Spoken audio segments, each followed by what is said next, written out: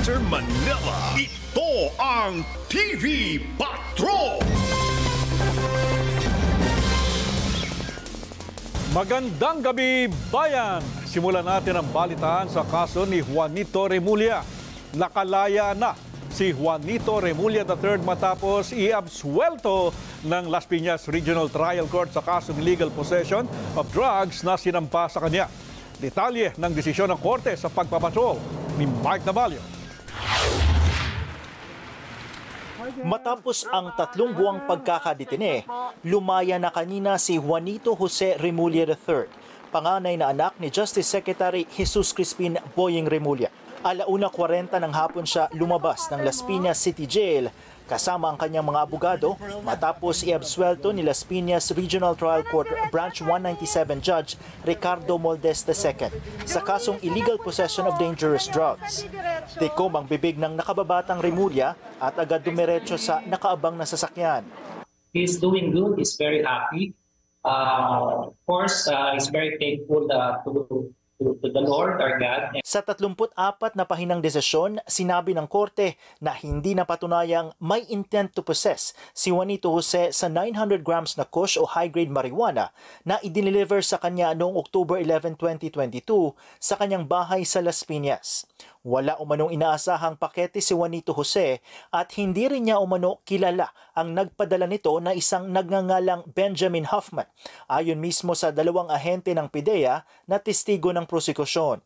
Sabi ng korte, tugma ang mga kilos ni Juanito Jose sa galaw ng isang taong walang inaasahang pakete o hindi alam na may laman itong iligal na droga. Hindi umano sapat na ipakitang tinanggap ni Juanito Jose ang pakete.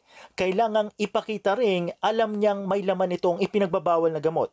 it is very clear from the prosecution's evidence that uh, Joey, Joey Remulla is not the importer of this dangerous drug.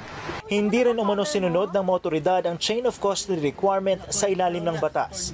Hindi na ipaliwanag kung paano itinago ang droga matapos ma-intercept ito noong September 27 hanggang sa mapunta sa kustodiya ng Bureau of Customs Examiner noong October 4 at malipat sa PIDEA noong October 10 ng nakaraang taon. Hindi rin iprinisenta ng prosekusyon bilang testigo ang kustodya ng droga ng PIDEA. Dahil dito, may duda na umano sa integridad ng drogang nakuha kay Juanito Jose.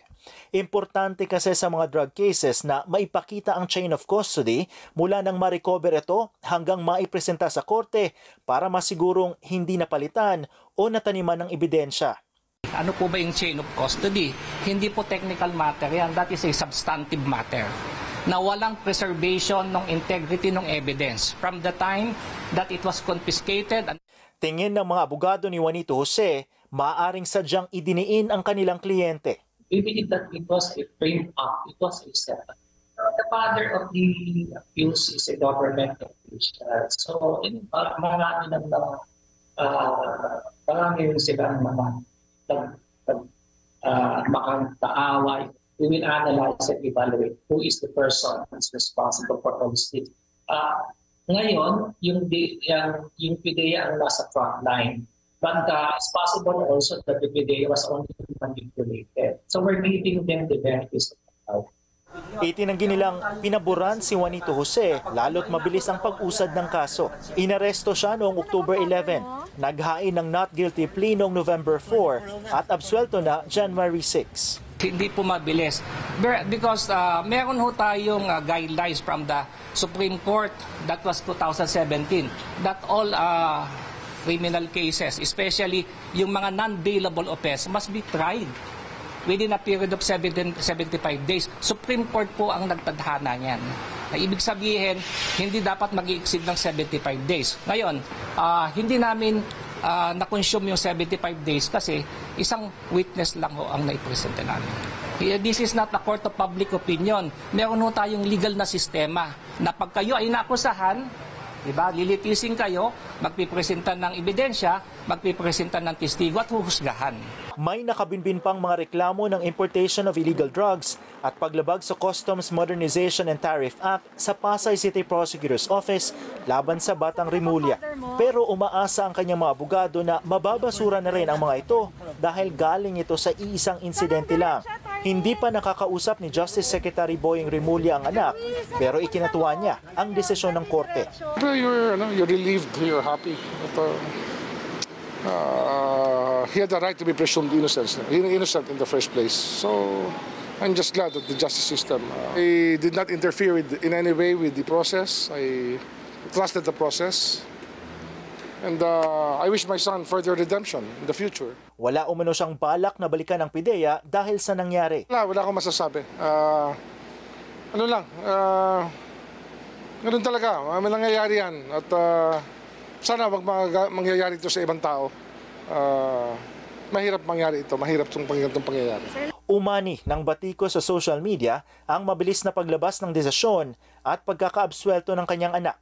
Pero para kay Remulla, And there will always be critics, no, no matter how much you do for the country or for the people, there will always be the bashers. And that's part of the life that we live as leaders of this country. Sa isang pahayag, sinabi naman ng PIDEA na nirerespeto nito ang desisyon ng korte at pag-aaralan kung bakit naabswelto si Juanito Jose para hindi na mauulit sa mga susunod na operasyon. Mike Navalio, ABS-CBN News. Kinangay ng baha ang ilang bahay malapit sa ilog sa bayan ng Nauhan. Umaapila din ng tulong ang mga magsasaka matapos malubog sa baha ang kanilang mga pananim. Live po mula sa Nauhan, Oriental Mindoro, nagpapatrol si Dennis Dato. So Dennis, tuloy pa ba yung pagulan dyan? Kamusta ang panahon? Henry, uh, pabago-bago ang panahon dito sa Mindoro. Katulad kaninang uh, umaga hanggang tanghali ay napakainit. Pero ngayong hapon ay naging masama na naman ang panahon, nagkaroon na mga pag-ulan. Pero sa kabila nito ay nag-umpisa na ang humupa ang baha sa maraming lugar dito sa Oriental Mindoro. Ang problema na lamang ngayon ng mga residente ay kung paano sila muling babangon. Wala nang makitang bakas sa bahay ni Linedes. Tinangay kasi ng rumaragas ang baha ang kanyang tahanan sa Sitio Dike sa bayan ng Nauhan, Oriental, Mindoro. Kasama rin sa nilamon ng baha ang bahay ng kanyang anak. Sa lakas ng ulan, umapaw ang ilog ng mag-asawang tubig at gumuho ang lupang kinatitirikan ng mga bahay. Lagi yung kwan, balayes, hindi makatulog. Naalalay kung paano naman makakakuan. Makabangon uli. Pagkain pahigan, makakain at mm, nawala nga yung aming mga tirahan. Sana eh makuan, matulungan man lang ng konting pabahay. Hindi na rin matirahan ang bahay ni Tony matapos mawasak ng baha. Ilang putik po sa loob, madami. Eh di, kung lilinisin po, eh maghihintay pa po ng tagaraw. Para tumigas ang lupa. Ayan po, halos hanggang tuhod po ang putik niyan. Patuloy pa ang pagguho ng lupa kaya pinalikas na ang mga nakatira malapit sa ilog. Actually po yung mga nawasat na bahay ay parang sa taas na po magbabahay. Eh, kanina po ay galing na po sila sa MSWDO at sa MDRRMO. May ibinigay na pong tulong. Nasa 50 barangay sa Oriental Mindoro ang nalubog sa baha. Kasama na mga taniman ng palay na kabuhayan ng maraming residente. Halos isa hanggang dalawang buwan pa lamang ang mga palay na naitatanim kaya malaking problema ng mga magsasaka kung papaano silang magsisimula muli. Puro putik na. Nakakapayak at yun lang ang aming kukunan ng pagkain. Wala naman kami diyan makukunan agad hamak ng bini. Titiisin na muna. Baka kung siya babangon, salamat. Kung kami merong makukuha kahit kaunti. sa, sa inyo kung kami inyong tulungan, eh, salamat na. Hari na siya mapakinabangan pa. 25 milyong piso na ang inisyal na halaga ng pinsala ng baha sa agrikultura sa bayan pa lamang ng Nauhan. Ngayong nag-umpisa na ang paghupa ng baha na ihahatid na ang mga relief goods sa mga barangay kaya may pangtawid na ang mga residente na hindi nakapaghanap buhay. Pagtiyak ni Vice Governor EJ Falcon na tumatayo ngayong acting governor ng Oriental Mindoro, may mga binhing ipamimigay sa mga magsasaka para makapagsimula muli ng pagtatanim. Kasabay nito, umapila rin si Falcon ng karagdagang tulong para sa mga biktima ng baha sa kanyang lalawigan. Sa mga kaibigan din natin sa nasyonal, uh, sana po eh, napapanood naman nila ito at uh, sana po eh, maka, makapagbigay sila ng kung ano man tulong na may bibigay dito sa aming lalawigan sa Oriental Mindoro. Henry, at dahil nagumpisa na ang humupa ang baha ay nadadaanan na halos lahat ang uh, mga kalye dito sa Oriental Mindoro at nagsisimula na rin ang clearing operations ng iba't ibang lokal na pamahalaan. Henry. Maraming salamat, Dennis Dato. Kapamilya, hindi po bagyo ang nagpapaulan sa bansa kung hindi shear line at amihan. Nagbabalang pag-asa sa mga taga Quezon, Bicol Region, Eastern Visayas, Caraga, Davao Region dahil patuloy na mararanasan ang pag-ulan sa inyong lugar. Ito'y dahil po sa shear line at trough ng low pressure area. Asahan din ang pag-ulan sa Cagayan Valley, Cordillera Administrative Region at Central Luzon dahil sa amihan. Epekto rin ng amihan ang ulang bubuhos sa Metro Manila at Ilocos Region. Samantala, ang nalalabing bahagi ng bansa ay posible ring makaranas ng maulap na papawirin na may kalat-kalat na pag-ulan. Bunsod ito o bunsod pa rin ito ng shear line o localized thunderstorms. Good news sa mga motorista, may namumurong rollback sa petrolyo sa susunod na linggo. Pero sa singil po ng kuryente, malaki-laki ang tinatayang dagdag singil ng Meralco sa paparating na bayarin ngayong buwan. Excited na si Romel na tumuntong sa 1,000 piso ang kita niya sa pasada sa susunod na linggo matapos mabalita ang may nakaambang rollback sa diesel. Hanggang 800 pesos ang iuwi niya ngayon pero kung mga 2 pesos ang bawas presyo next week, madadagdagan ang kita niya. Kaya lang may takot pa rin sila sa bawi. Taas babae kasi minsan tataas, ano siya, bababa siya ng isang beses, tataas ng dalawa. Kaya minsan bababa ng dalawang beses, tataas na ng tatlo. Talo palagi. Oh. Batay sa unang apat na araw ng trading, lagpas 2 pesos na ang ibinaba sa presyo ng imported diesel at kerosene pero ang gasolina wala pang 50 centavos ang bawas. Magkakaroon ng rollback dahil dun sa ginawang pronouncement ng IMF or International Monetary Fund na nagdulot ng takot sa mangyayaring global recession. At because of that, mayroon din daw economic slowdown sa mga malalaking bansa. So ibig sabihin, kung may ganong pangyayari, bababa ang demand or consumption for petroleum products. Pero para sa mga rider, gaya ni Richard, na gasolina ang kinakarga, di baling maliit ang rollback, wag lang tumaas ulit. Kaya dumidiskarte sila para makatipid. Baka wala pang 50 sentimo sa gasolina. Ah, wala pa sa ano. Eh, okay lang sir, basta bumaba. Kung may madaanan ka sir na medyo mababa, pakarga ka na. Nagtapos ang 2022 na may net increase sa diesel, gasolina at kerosene. Ang umpisa naman ng 2023, oil price hike din. Pero mukhang mababawi agad sa susunod na linggo ang itinaas sa diesel, kaya lang malabo pa sa gasolina at kerosene. Kaya mismo ang DOE nag-aalangan sa rollback sa gasolina. Maaring mahatak pa siya ng ano, iba pang factors like the freight. Pero magtutuloy-tuloy kaya ang pababang trend kung global recession ang dahilan ng paghina ng demand sa langis? Yung presyo ng crudo, pati, pati rin po yung gasolina at diesel, uh, nakikita ho natin na medyo may konting weakness pa po no, by next week. No? So inaasahan po natin or nakikita, parang sa tansya natin is uh, po pwede pong manatili po ng medyo bumaba pa po ng konti ano, by next week. Paalala rin ng mga eksperto, hindi ang presyo ng crudo o crude prices ang basehan ng presyuhan sa Pilipinas kung hindi MOPS o Mean of Flat Singapore na para sa mga finished products o buo ng diesel at gasolina. Ano po yung level ng baba ng crude or akyat, yun din po yung nagiging level ng MOPS. No? Hindi po ganun. Ano? So talagang meron pong sarili silang behavior. May similar trend pero hindi po nangangahulugan na pareho po yung magiging level ng baba or akyat.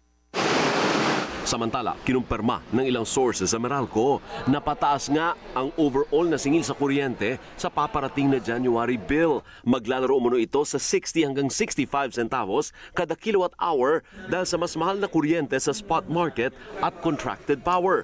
Hinahanapan pa umano ng paraan kung pwedeng mabawasan ang dagdag singil bago ang opisyal na anunsyo sa susunod na linggo.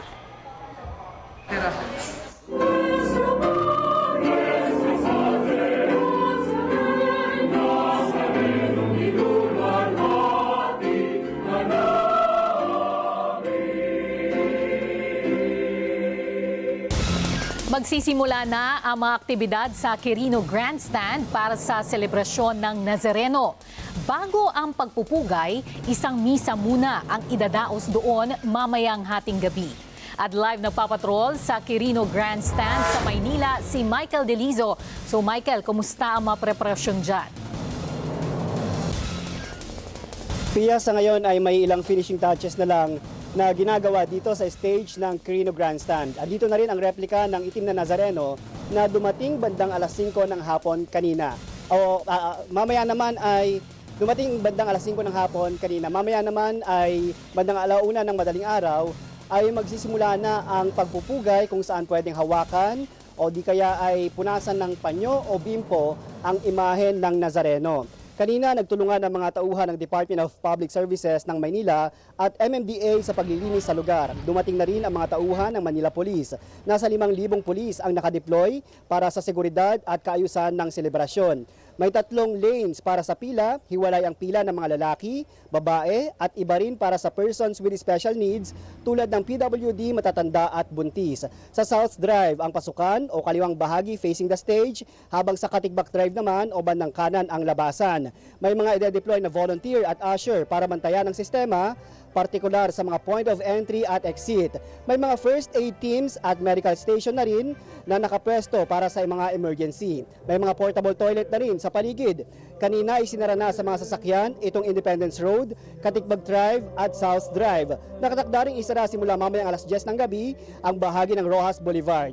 Mamayang alas 12 ng tahating gabi, inasahan ang unang misa dito sa grandstand bago ang simula ng pagpupugay. Inabisuhan lang natin ang mga deboto na magdala po ng payong at bota. Kanina nga ay binahapa itong bahagi ng grandstand pero sa kabila ng masamang panahon ay may mga maaga ng pumila. So, inagahan na namin kasi yung in-expect namin laging mahaba yung pila. So, tininan ko yung schedule, mamaya ang 12 a.m. may mass na siya. So, in-expect namin mahaba na yung pila. So, kanina ba ang baha? So, inagahan na namin yung punta. So, ngayon, kami yung unang-una. Kung gusto po nating maunawaan ng debosyon, kausapin, makipag-ugnayan, intindihin ang mga deboto. No, dahil sila po, yung kanilang pagpapahayag ng pananampalataya is very unique. Pia, paalala lang sa mga pupunta dito sa pagpupugay na kahit balik na ang physical activities, ay bawal pa ring halikan ang uh, imahen ng Nazareno dahil sa banta ng COVID-19. Umupa na ang baha dito sa Crino Grandstand pero andyan pa yung putik sa daan. No? Sa ngayon ay umahaba na yung pila dito sa Crino Grandstand para antabayanan ang mga aktibidad. At yan ang latest mula rito sa Crino Grandstand. Balik Pia. Maraming salamat, Michael Delizo humingi ng paumanhin si Pangulong Ferdinand Marcos Jr. sa mga pasaherong naapektuhan ng naging aberya sa sistema ng Civil Aviation Authority of the Philippines. Ininspeksyon din ng Pangulo ang operasyon sa NAIA Terminal 3. At live mula sa NAIA, nagpapatrol, Joyce Balancio. Joyce, kumusta ang naging pagbisita ng Pangulo sa NAIA?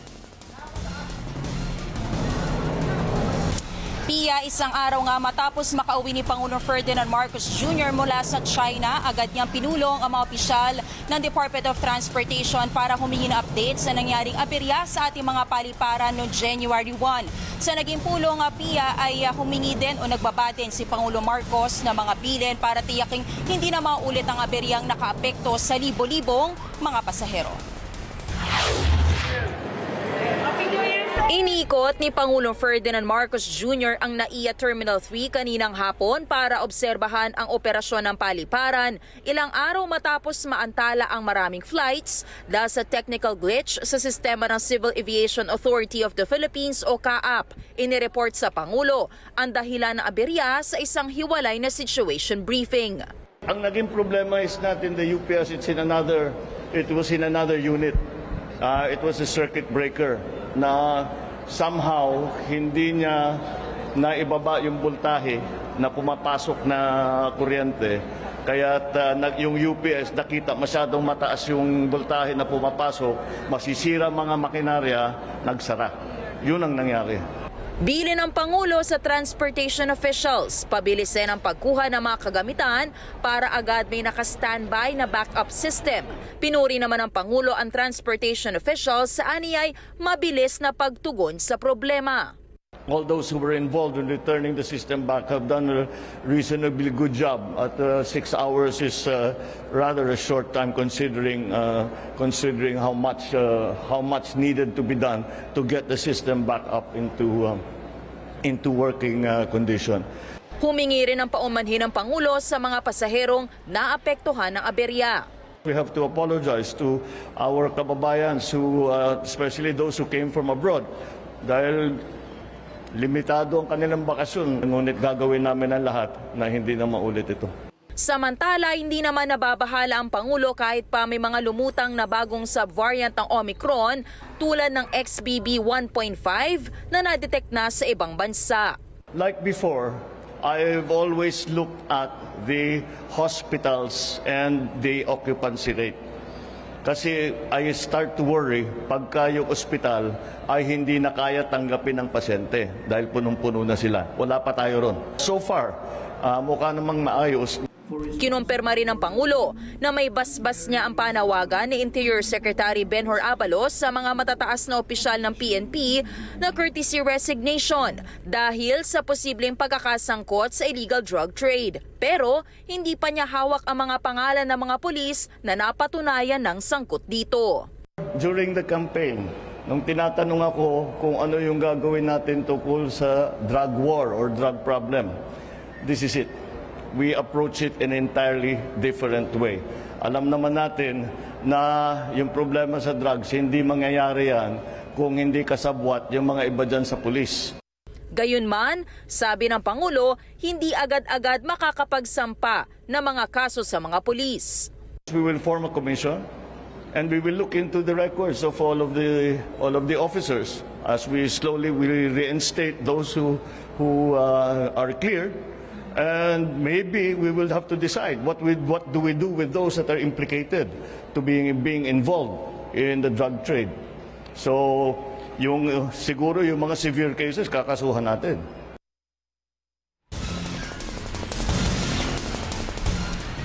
Matapos nga ang inspeksyon ni Pangulo Marcos dito sa NAIA Terminal 3, ayon sa kanya, back to normal na ang operasyon ng paliparan na pagdating naman doon sa mga gamit o equipment na naging bahagi ng aberya tulad ng circuit breaker, ito'y napalitan na at nagkaroon na rin ng emergency procurement para sa iba pang mga gamit para matiyak na hindi napapalya ang air traffic control management system ng ating mga paliparan. Pia. Maraming salamat, Joyce Balancio.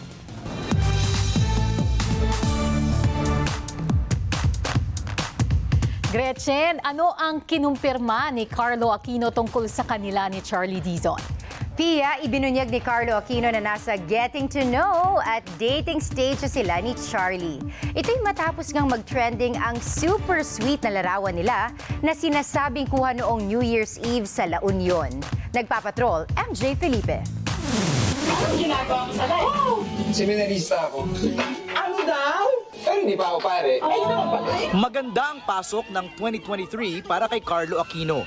Balik big screen ng aktor kasama si Barbie Imperial sa pelikulang I Love Lizzie. Ang isa sa tatlong co-production movie project ng Star Magic at Mav X Productions. Bukod dito, may tatlo pang pelikulang nakalinyang gawin si Carlo. Pero hindi lang sa trabaho bumubuhos ang swerte. Dahil pagpasok ng bagong taon, may bagong love life din si Kaloy. Trending ang photo niya kasama si Charlie Dizon, nakuha umano sa La Union noong New Year's Eve. Bagay na kinumpirma ni Carlo. How was your New Year? How did you celebrate?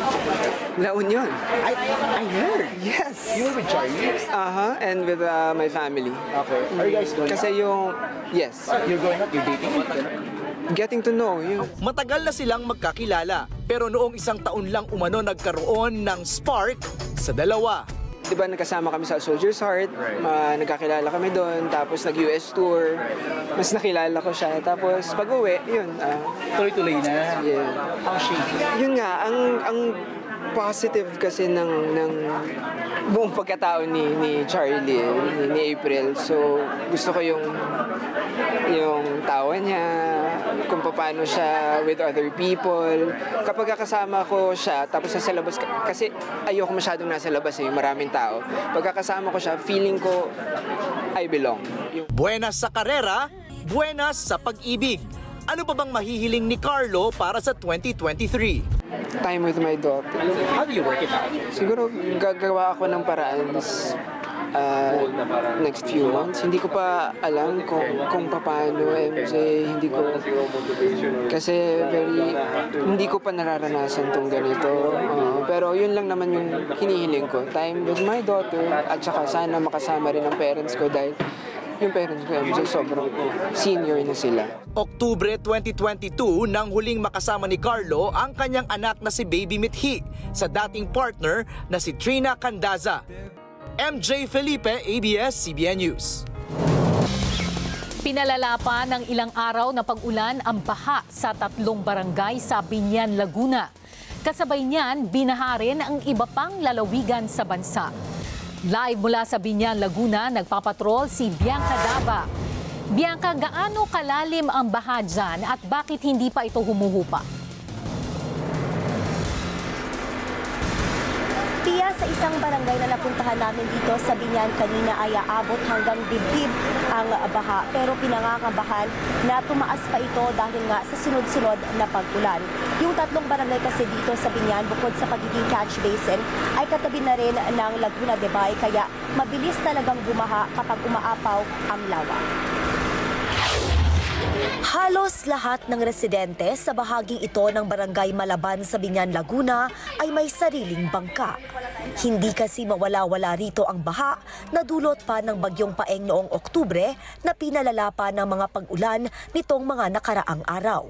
Si Mark Anthony, ito na rin ang gamit para maihatid at masundo mula sa eskwelahan ang anak. Lahat kami, ba, dalawang pamilya yon nasa taas lang lagi. Hanggang dibdib pa rin po doon sa ano, ma'am. Yung mga dadaanan. Bagamat marami ang piniling magpaiwan sa kanilang mga bahay, marami rin naman ang lumikas. Sa datos ng barangay, nasa isandaan at anim na pung pamilya o higit anim na raang individual ang lumikas sa tatlong evacuation centers. Lubog din sa baha ang ilang bahagi ng Barangay de la Paz at Barangay San Jose. Bukod sa pagiging catch basin, nasa gilid lang kasi ng Laguna de Bay ang mga barangay na ito kaya mabilis pasukin ng tubig ang mga kalsada at bahay kapag umapaw ang lawa. Bagamat bahagya ng humupa ang baha sa barangay San Jose, nangangamba pa rin si Aling Daisy na tumaas ito kapag muling bumuhos ang malakas na ulan. Sobrang hirap po, lalo na po na may sakit yung asawa ko. Hindi kasi siya pwede magbuhat ng mabigat. Ilang beses na siya inatake, eh, tatlo. Baka sabi ko ngayon, hindi na kita kayang iligtas. Kasi wala na, wala na kayong magagawa ko dito. Buti po sinampal-sampal ko, tapos pinaypayan ko na sa ulian. Kaya isa sa ginagawa ng barangay sa tulong ng lokal na pamahalaan ang regular na paglilinis sa mga kanal. Ang LGU po sa totoo lang kami po dito sa Binyan, isang pinaka pinasasalamat ko. Meron kaming isang ano rito eh, ah, yung program na yung canal declogging. Yun po yung madalas kong katulong dito. Merong mga tao na pinadadala rito para magbungkal at maglinis po ng aming kanal. Sa Aurora naman, patuloy ang rescue operations sa mga binahang residente ng Barangay Pingit sa Baler. Ang Baler Police gumamit na ng excavator para maitawid ang mga lumilikas na residente. Nakaranas din ng pagbaha ang ilang bahagi ng Barangay Sabang. Hindi rin muna madaanan ng ilang bahagi ng Nueva Ecija Aurora Road dahil sa landslide. Sa Cagayan, isinara na ang Kapatan Overflow Bridge sa Tuguegarao City matapos muling lumubog sa pag-apaw ng Pinakanawan River. Habang sa Capiz, hindi madaanan ng mga sasakyan ang Barangay Cogon at Barangay Dayhagon sa bayan ng Sigma dahil sa pagbaha.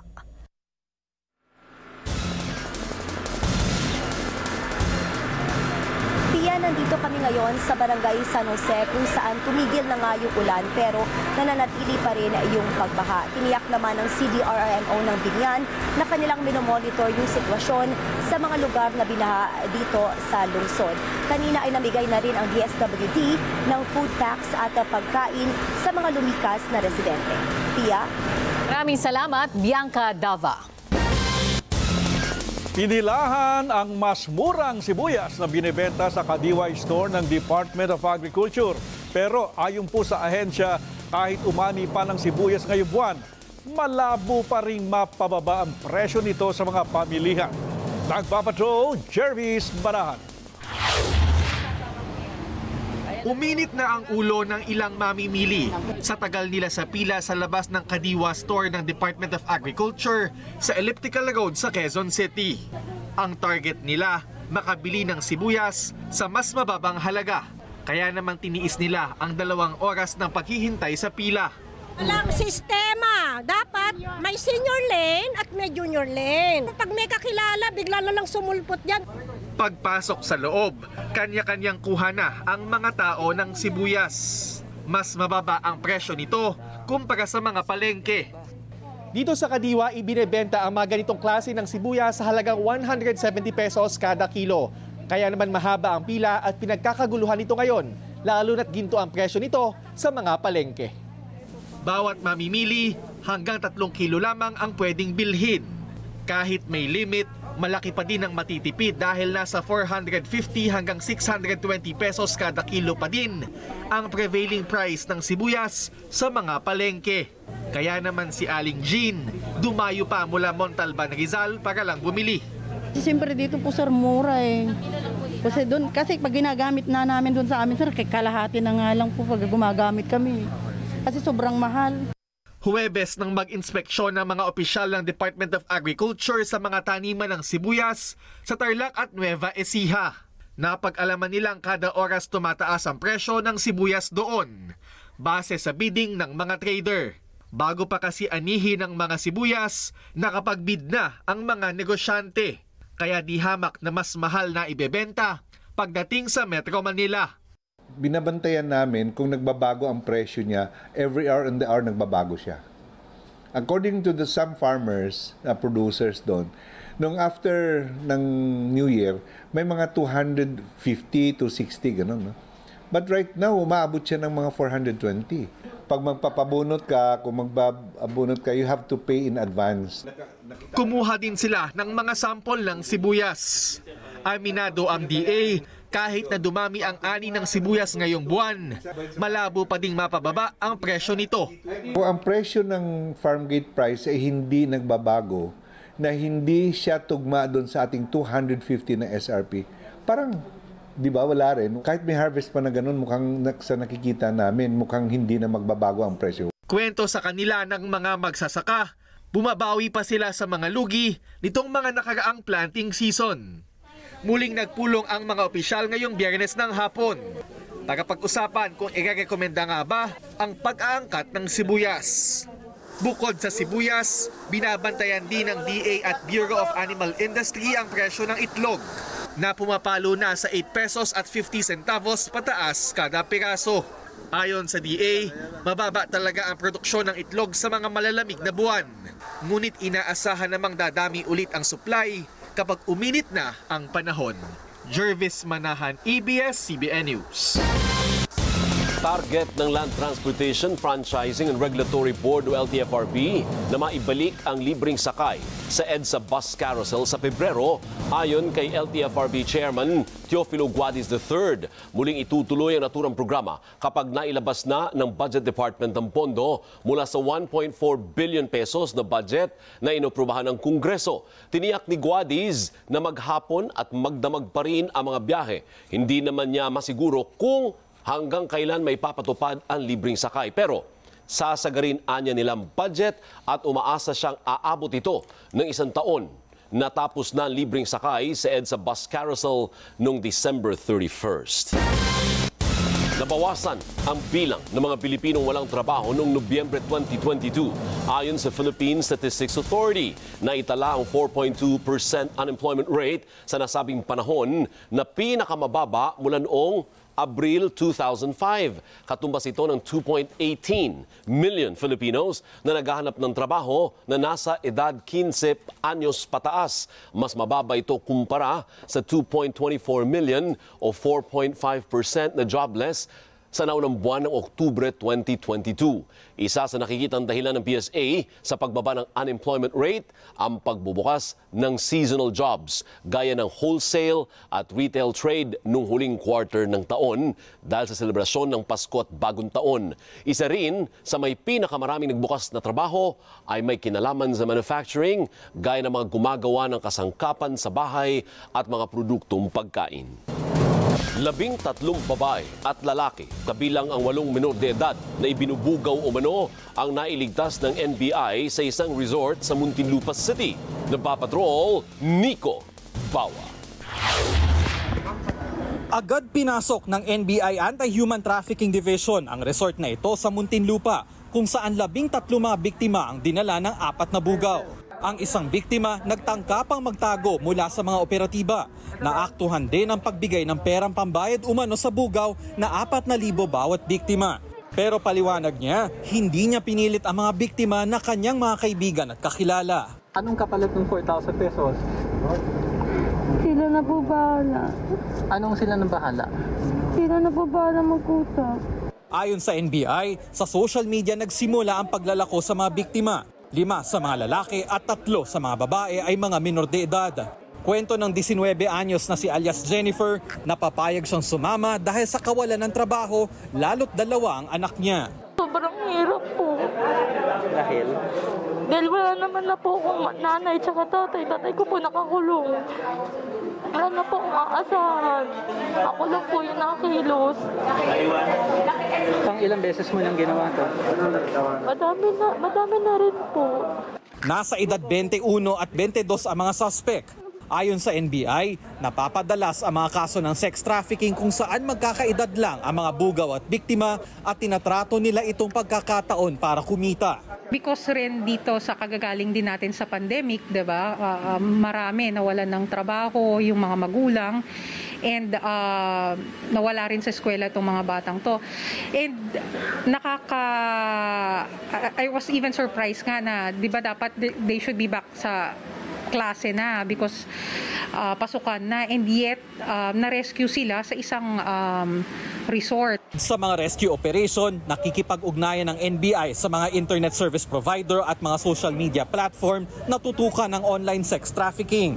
Also mandated to help dito rin sa sa human trafficking to to report and to block kapag may mga ganitong mga um, content Inabisuhan din ng resort na dapat suriin ang mga menor de edad na nakakapasok. Pero paliwanag nila, nagpakilala umano silang magkakamag-anak. Dinala sa DSWD ang mga biktima habang kulong ang apat na suspect sa kasong human trafficking. Nico Bawa, ABS-CBN News. Binalaan ng publiko laban sa umunoy bagong scam kaugnay sa SIM registration. Paalala ng National Telecommunications Commission, bukod sa libre ang pagpaparehistro, posibleng gamitin sa krimen ng mga scammer ang datos na makukuha sa SIM registration. Nagpapatrol, Warren de Guzman. Inaasikaso ni Marisa ang registration ng limang SIM sa kanyang pamilya pero hindi siya matapos-tapos dahil laging pumapalya ang website ng kanyang telco. Ito pong 3 days, inano ko na naman, ayaw. Sa dami po ba na, sa dami po na nagpaparegister ng SIM eh, eh baka hindi na po talaga makapasok sa 180 days.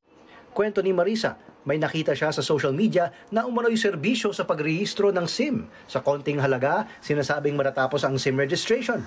Bakit ko naman po sir papatulan eh kung eh, ano naman po yung kung scam naman po yun tapos ibibigay ko yung pera nin tapos hindi rin po may re-register yung SIM ko, di ba wala rin po. Madaling nahanap ng ABS-CBN News Team ang ilang social media post na gaalok ng paid SIM registration. Nakatanggap na rin ang Smart PLDT ng ilang reklamo sa mga ganitong modus operandi. Kaya may paalala sila sa kanilang subscribers. Libre po ang pag-register at libre din ang tulong uh, na ibinibigay uh, ng smart, ng smart stores, ng mga booths and, and touch points. Ito yung kauna-unahan parang scam na uh, natumbukan natin.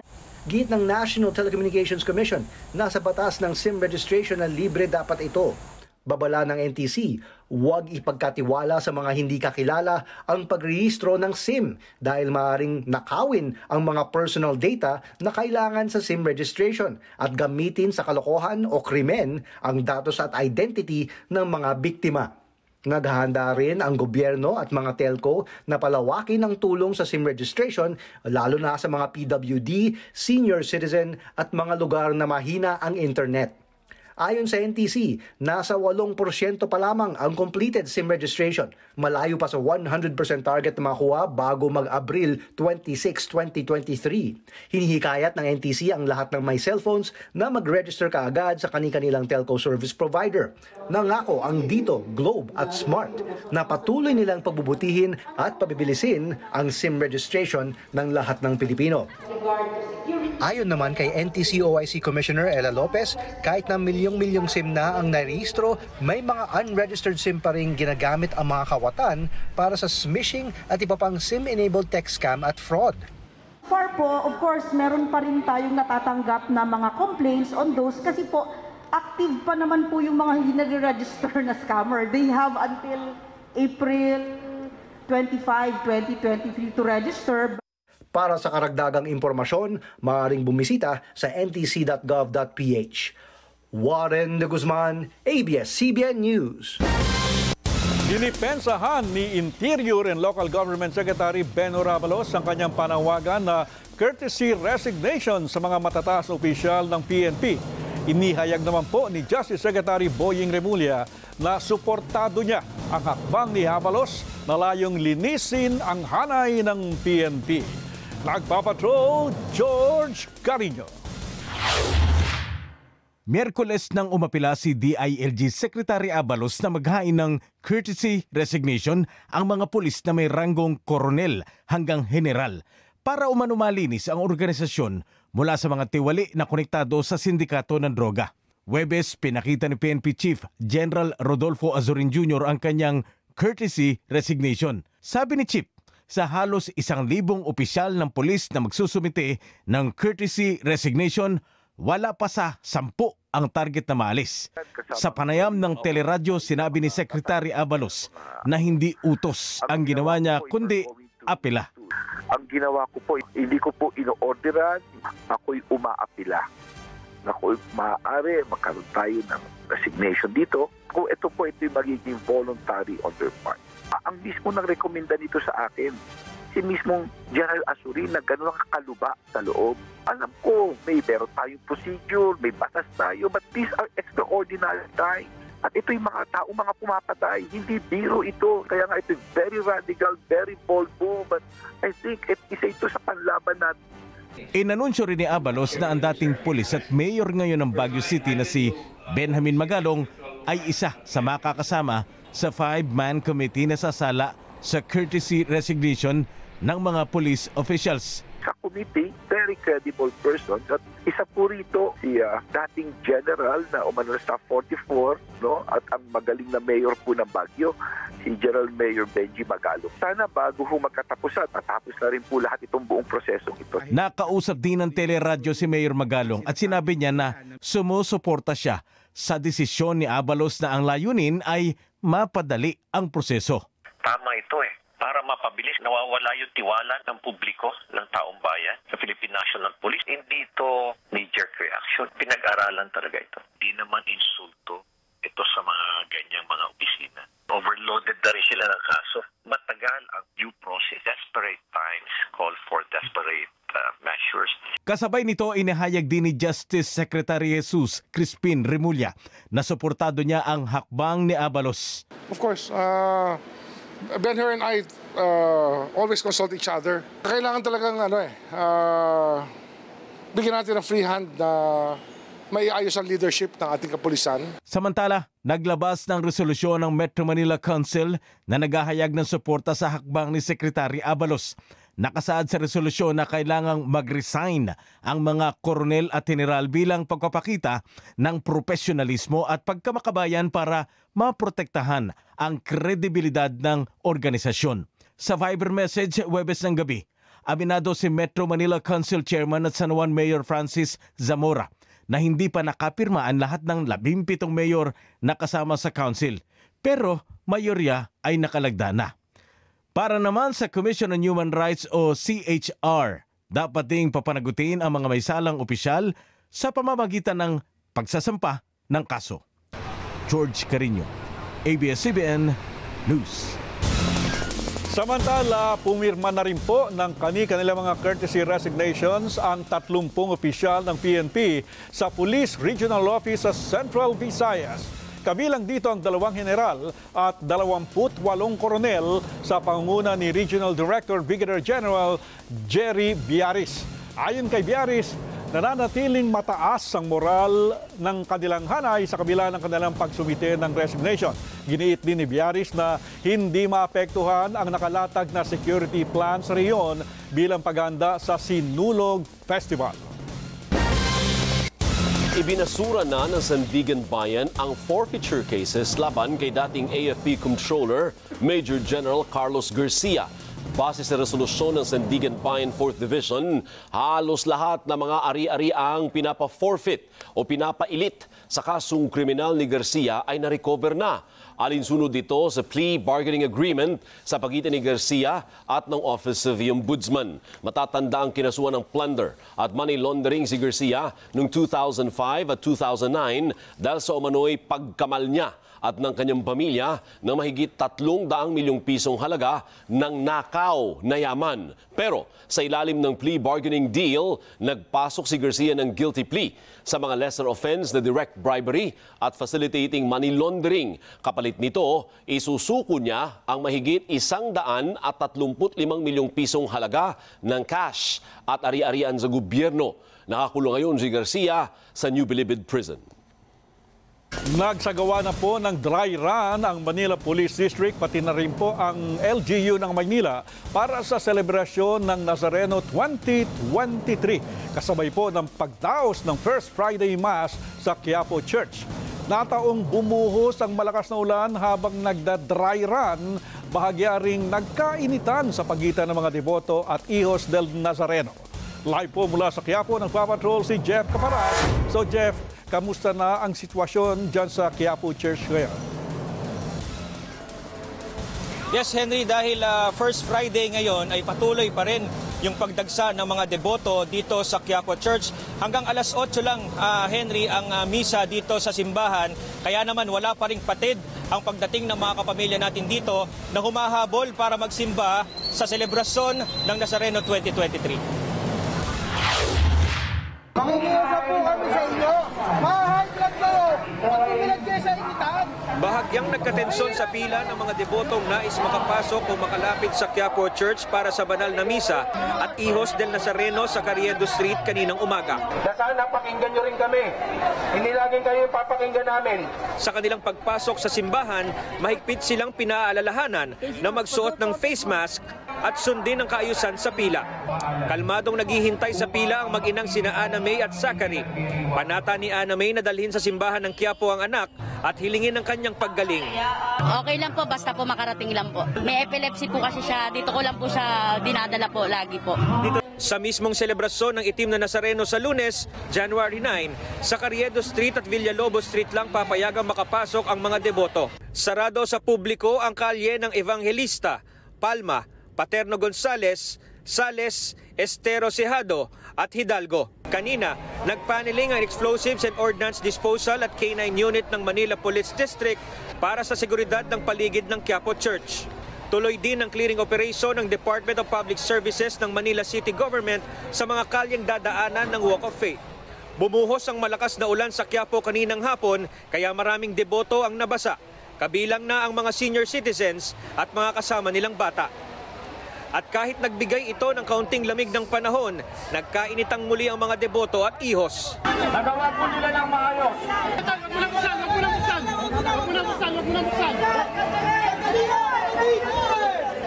Teka lang po, teka lang, bubuksan na. Mga kapatid, sila nanay nagawa ko. Nagawa nila ng maayos yung pila. Pakiusap ng simbahan at lokal na pamahalaan sa mga deboto na kung maaari, iwasan ng isama ang mga bata at matatanda. Sa kabuuan ayon sa MPD, maayos naman na naging takbo ng dry run sa kabila ng ilang aberya na inaasahan din nila. Uh, sa ngayon po, yung mga preparations naman natin ngayon sa oras na to, nakikita natin na okay pa naman po, uh, uh, kumbaga, smooth pa naman yung nangyayari.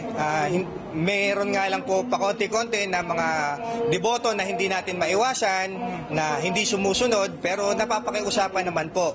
And sa dami din po talaga ng tao na dumarating ngayon, Nagpaalala naman ang Philippine Red Cross sa mga dadalo sa Walk of Faith, huwag kalimutang tanggalin sa saksakan ang mga appliances at isarang mabuti ang mga pinto at bintana bago umalis ng bahay. Pinapayuhan ang mga buntis at may sakit na manatili na lang sa bahay. Mabuti rin anilang magdala ng panangga sa ulan at init ng araw. Kung sakaling mahiwalay sa inyong grupo, magtalaga ng designated meeting place. Alamin kung saan ang police at first aid stations. Magdala ng ID na may medical information ninyo at emergency contact numbers. Magdala ng tubig, pagkain at gamot. At magsuot ng face mask at magdala ng sanitizer. Magde-deploy ng 300 volunteers ang Red Cross sa apat na first aid station sa ruta ng prosesyon. May nakapwesto ring fire trucks at ambulance teams sa strategic locations mula bukas, Sabado. Pinayuhan din nila na i-download ang First Aid IFRC app. Kapag may emergency, tawagan ng Red Cross hotline.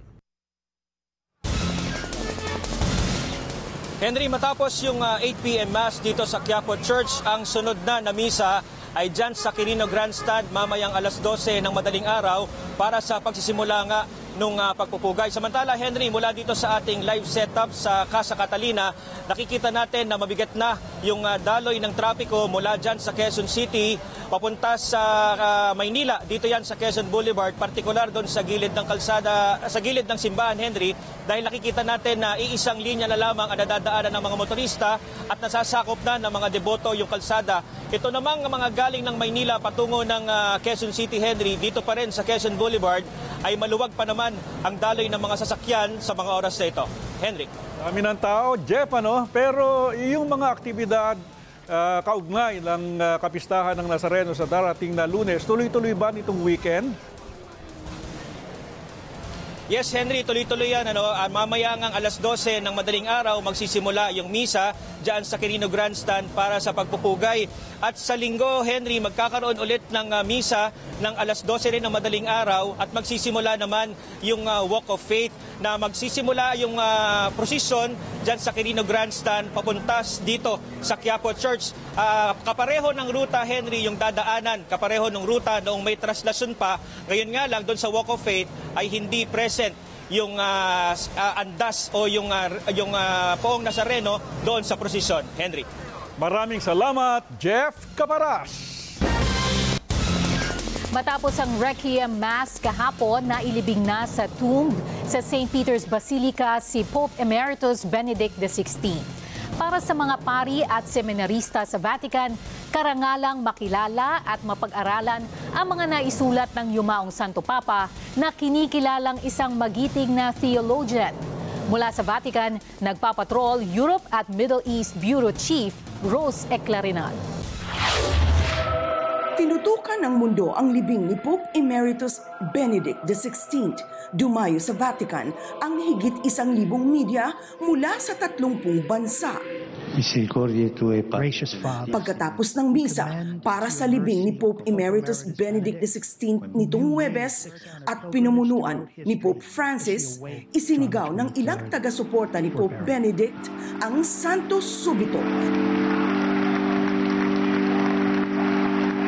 na humingi na agad na gawing santo ang yumaong papa. Per il Papa Emerito Benedetto, Pribado ang libing. Kabilang sa libu-libong naghatid sa huling hantungan, ang mga Pinoy at Katolikong galing pa sa ibang panig ng mundo. Nakakatindig balahibo. Yung feel mo yung talagang presence ng ang daming tao, ang daming nakikiisa para sa kay Saint Paul Benedict. Malungkot po dahil mabait po yung Papa. Ah, so langit nawa po ang kanyang kaluluwa. It's significant, uh, especially with Benedict, because he was the Pope throughout my most of my childhood. His writings basically are the reason why my faith is the way that it is today. So I wanted to to be here for it. Nagbigay pugay naman ang ilang paring Pinoy kay Pope Benedict XVI. I came to the knowledge of Benedict XVI during the death also of the great John Paul II. During the funeral of John Paul II, I saw him for the first time, Cardinal Ratzinger, since he was the Dean of the College of Cardinals, so he was in charge of uh, saying the, the Mass. Personally, I felt that this man can be the next one. Really? Yes. That was uh, my personal uh, conviction. Sabi naman ni Father Fritz Tohoy, sa pagkamatay ng Pope Emeritus, binuklod muli ni Pope Benedict ang simbahang katolika. being there was being part of the the whole Catholic Church who was praying for him, giving him honor, and uh, being one as a church. Because uh, this morning, talagang naramdaman ko na there is the unity, no, around the wake of uh, Pope Benedict XVI. Isang pahina sa kasaysayan ng simbahang katolika ang nagsara sa pagkamatay at libing ni Pope Emeritus Benedict XVI. Umaasa ang marami na sumubaybay sa kanyang buhay na ang susunod na pahina ay ang landas para maging santo ang dating Papa. Rose Eclarinal, ABS-CBN News, Vatican. Isang misa ang idinaos sa Manila Cathedral para sa yumaong Pope Emeritus Benedict XVI. Live mula sa Intramuros nagpapatrol, Willard Cheng. Willard, sino ang nanguna sa Requiem Mass? Alvin sina Manila Archbishop Jose Cardinal Advincula at Papal Nuncio Charles John Brown ang nanguna sa misa. Personal na nakilala at nakatrabaho ng nuncio si Pope Benedict at ibinahagi ang kanyang alaala sa dating Santo Papa. Isang araw matapos ilibing si Pope Benedict XVI sa Vatican City, isang requiem mass ang idinao sa Manila Cathedral para ipagdasal ang kaluluwa ng yumaong dating Santo Papa. Sa kanyang humili, ikinwento ni Papal Nuncio Archbishop Charles John Brown na unang nakilala niya ang nooy Cardinal Joseph Ratzinger noong bumisita ito sa New York habang seminarista pa lang si Brown. Cardinal Ratzinger showed his brilliance, his intellectual brilliance, but also his profound humility and approachability, which were so characteristic of him. This was my first impression of the man who would later become Pope Benedict XVI.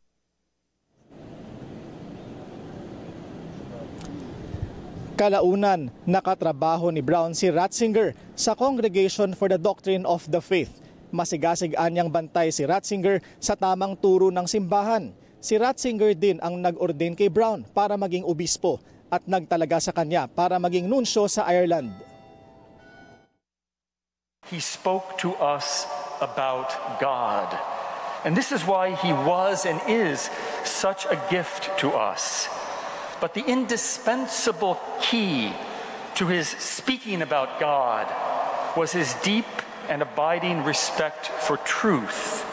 He wanted always to be, as his motto said, a co worker of the truth. Pumano man si Benedict XVI, patuloy pa rin anyang sinasamahan ng dating Santo Papa ang lahat sa pamamagitan ng mensaheng iniwan niya sa kanyang spiritual testament. Inalala naman ni Manila Archbishop Jose Cardinal Advincula ang pagtalaga sa kanya ni Pope Benedict noong 2011 para maging arsobispo ng Capiz at ang matapang na paghayag ng dating Santo Papa sa salita ng Diyos sa gitna ng pagdududa at pagbali ng ilan sa katotohanan. Father, let us honor the memory of Pope Benedict, Pope Emeritus Benedict XVI by learning from his preaching and following his example of Christian life. Let us pray for him that God may welcome him into his kingdom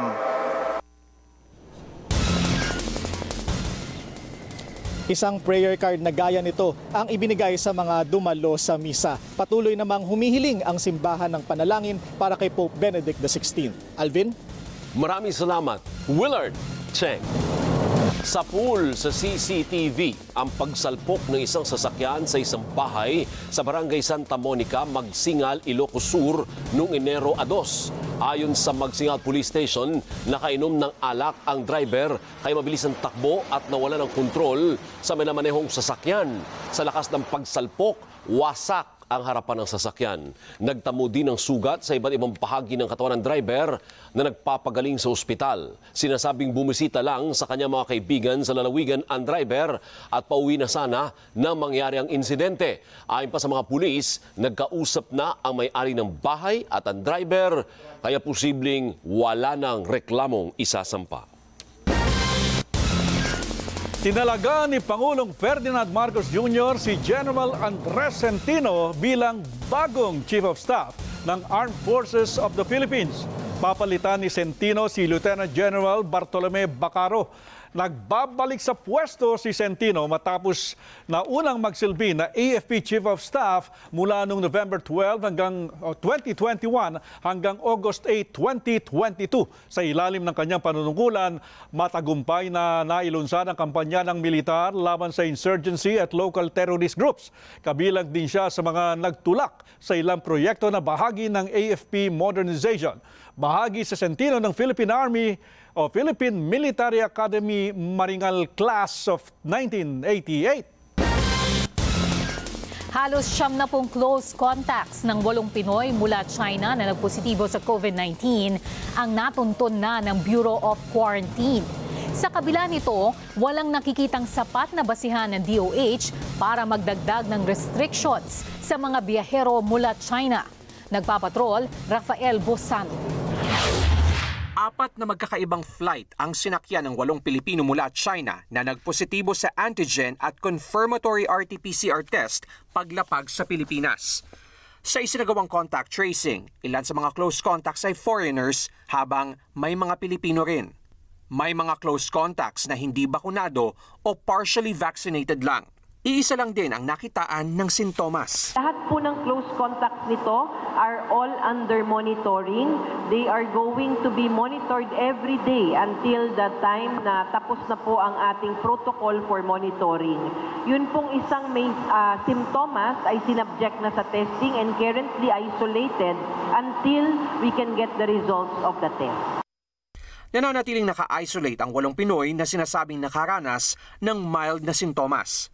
Pag wala na silang sintomas matapos ang pitong araw, ay pwede na silang palabasin mula sa isolation. May nilinaw din ang DOH sa pagpapaigting ng surveillance sa mga papasok ng bansa. Not only specific to China, but across all passengers coming into the country because we know hindi na lang po China ang affected, lahat na po ng mga bansa. Paglapag sa airport, unang tinitignan ang temperatura ng pasahero, kasunod ang vaccination status sa e-arrival card. Kung hindi bakunado o partially vaccinated lang, hahanapin ang negative pre-departure test. Kapag walang maipakita, isa sa ilalim siya sa antigen test sa airport. Giit ni Vergere, wala silang nakikitang rason para magdagdag ng restriction para sa mga biyaherong manggagaling ng China. Hindi lang kasi ang mga variant sa China ang kumakalat ngayon, kundi maging ang XBB.1.5 na nakita na sa halos 30 bansa. Nauna nang sinabi ng World Health Organization na ito na ang pinaka nakahahawang variant ng COVID-19 na nakita sa ngayon. We are concerned about its growth advantage, um, in particular in some countries in Europe uh, and in um, the US, uh, in North America, particularly the northeast part of the United States, where XBB.1.5 has rapidly replaced other circulating variants. Paalala ng DOH, malayo na ang sitwasyon ng bansa ngayon kumpara noong nag-uumpisa pa lang ang pandemya. Hindi umano kailangang matakot, basta sumunod lang sa health protocols para makaiwas sa sakit. Rafael Bosano, ABS-CBN News. Samantala, inanunsyo ni DOH OIC Maria Rosario Vergere na magpapatuloy ang pagbabakuna kontra COVID kahit pa lumipas na ang idineklarang state of calamity dahil sa pandemya noong December 31, 2022. Dagdag ni Vergere na ayon sa batas na may bisa pa ng isang taon ang Emergency Use Authority ng mga bakuna kahit paso na ang state of calamity. Sa kabila nito, magbabago na anya ang paraan ng pagbili ng mga bakuna na susunod na sa itinakda ng RA 9184 o ang Government Procurement Reform Act. Naghahanda na ang mga magpapakaridad o yung mga nagpapakaimpo sa mga deboto tuwing selebrasyon ng Nazareno. Bagamat hindi biro ang gastos ng ilan, sulit naman umano ang biyayang kapalit nito para sa kanila. Nagpapatrol, Michael Delizo. Higit tatlong dekada nang nagpapakaridad tuwing selebrasyon ng Nazareno ang pamilya ni Rosalinda. Ang pagpapakaridad ay ang pamamanata sa pamamagitan ng pamimigay ng pagkain o inumin. Ngayong taon, nakahanda na ang kahon-kahong mga palaman, tinapay at juice sa kanilang optical shop sa kanto ng Evangelista at Paterno Street sa Quiapo. May mga adobo meal din silang ipamimigay para sa target na 10,000 tao. Yung una, nagdo-donate lang kami 5,000 sa kaibigan ko para sa tubig bigay sa mga tao. Pero ginawa na namin na sarili na namin para kami nilang lahat na mga staff namin magbibigay. Umabot ng 180,000 pesos ang budget ngayong taon ni Rosalinda. Pero kahit magastos at nakakapagod, kakaibang saya umano ang dala ng ganitong panata sa mga nagpapakaridad. Abot din po kami ng gabi kahit pagod. Um, masaya po. Sobrang excited po, tsaka sobrang saya. Kasi di ba yung iba nakapaalang, tapos pag binibigay mo sa sobrang tuwa po sila. Tuwing Enero 9, kabi-kabila ang mga nagpapakaridad o nagpapakain dito sa Paterno at Evangelista Street sa Quiapo, Maynila. Ito yung paraan ng pagpapanata o pagpapakita ng debosyon ng ilang residente dito para sa poong Nazareno. Hindi man kasing laki ng budget, panata rin ng tindera sa palengke na si Amalia ang pamimigay ng tubig at pagkain. Wala naman kaming pera. Mahirap din lang kami. Pero parang pag dumarating yung mga okasyon na ganun, parang, oh, eto na, oh. Huwag kang maghanap. Ibibigay ko na sa iyo. Walang pinipili ang mga nagpapakaridad, deboto man o hindi, lahat inaabutan nila ng pagkain o inumin. Kung ang marami ipinapakita ang pagdedebosyon sa pamamagitan ng pagpila sa Nazareno o paglalakad sa prosesyon, para sa mga nagpapakaridad, ang pagtulong sa kapwa, ang pinakamagandang paraan nila ng pagpapakita ng debosyon sa poong Nazareno. Michael Delizo, ABS-CBN News.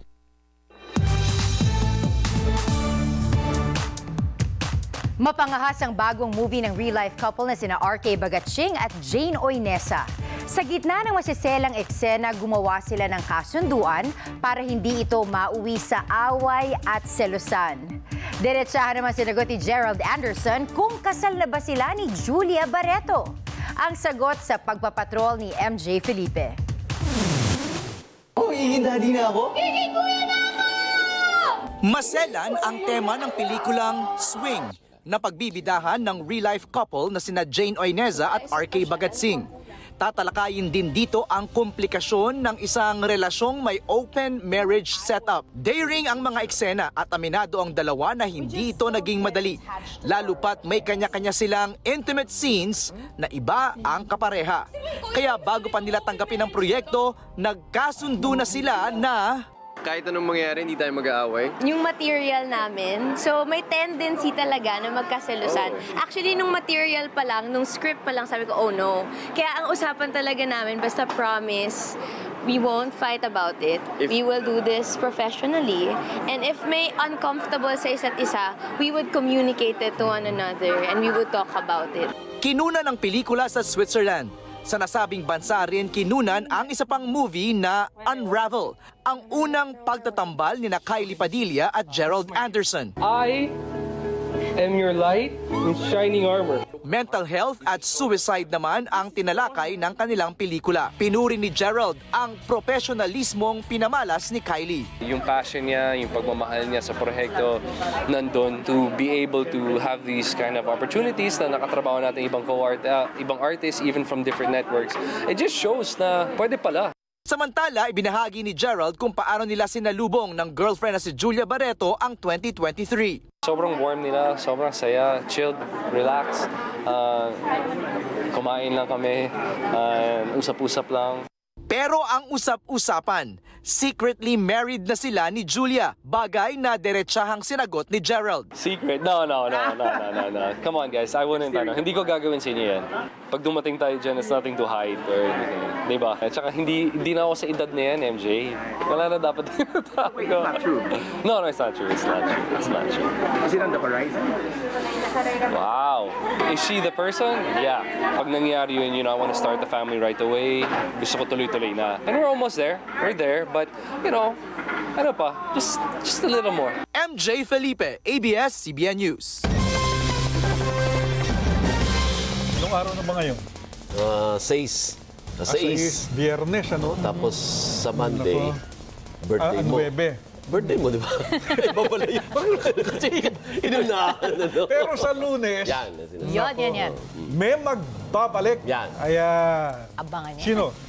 Aba, ewan ko Si Karen Davila, si si Bernadette. Sobrano. At, ito, abangan nyo kung sino at matutuwa po kayo sa darating na lunes. Akala ko pa naman sasabihin mo. bibitin mo pa pala. So, Oo. bibitin pa natin. Eh, alam naman ang lahat eh. si Kabayan. Yeah. Yeah. Abangan niyo si Kabayan. ah. Abangan po sa darating na lunes. At birthday mo. Eh, eh, lilipas din yan. At yan ang mga balitang pinantayan namin para sa inyo. Ako po si Alvin El Chico. Ako si Pia Gutierrez, nandito kami para sa inyo saan man sa mundo. Anumang hamon, anumang panahon, tapat kaming maglilingkod. Ako po si Henry Umaga Diaz. Maraming salamat po. Happy weekend. Maganda.